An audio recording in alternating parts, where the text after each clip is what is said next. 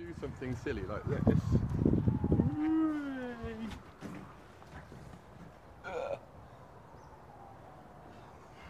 It's got uh, an accelerometer in it. It's supposed to be able to, when I when I convert that video, it should correct all of that.